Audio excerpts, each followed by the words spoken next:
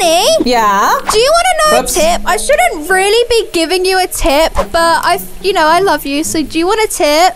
What? Make sure you don't put any lights on because lights ruins everything. Okay. So I'm not gonna have any lights. No, not at all. I don't believe you, Ruby. I think you're trying to trick Granny. Why would I try and trick you, Granny? I'm just being how would I see where I'm going if I have no lights? X-ray vision. Uh-huh. Okay. I think you just reminded me to put in extra lights. Oh, not extra lights. You don't want lights, Granny? Thank you, Ruby.